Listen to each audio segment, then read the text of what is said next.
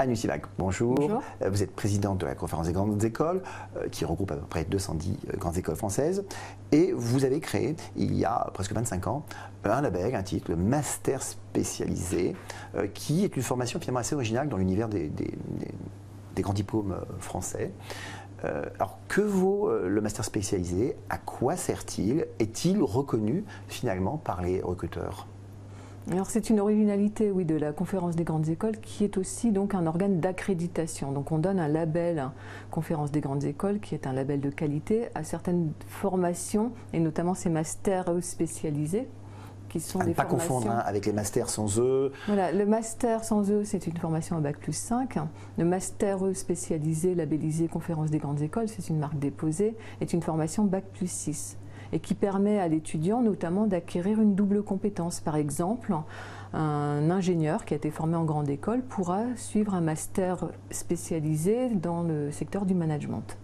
Alors, les recruteurs connaissent en général le grade de master ou le titre de master hein, qui est délivré par les écoles de la conférence des grandes écoles ou par les universités. Ils connaissent le MBA.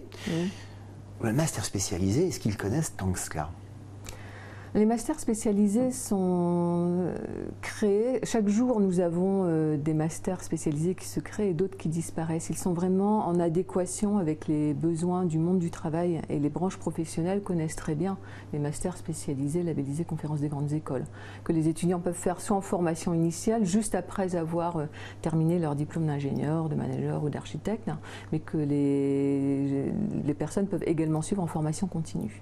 Est-ce qu'une des originalités au départ du master spécialisé, ça n'était pas justement d'être créé presque à la demande des entreprises qui avaient identifié un besoin de formation sur des cadres et qui disaient mais moi je ne trouve pas cela euh, et qui créent finalement euh, en collaboration avec les grandes écoles ce type de formation très très pointue sur des postes vraiment très précis oui, et c'est bien euh, l'intérêt justement des grandes écoles et ce qui fait leur efficacité aujourd'hui, c'est cette agilité de pouvoir proposer des cursus en, fonction des besoins du marché qui évolue actuellement très vite. Hein.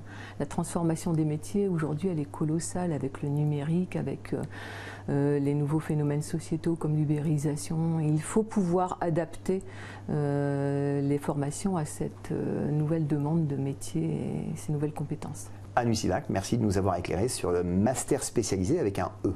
Merci.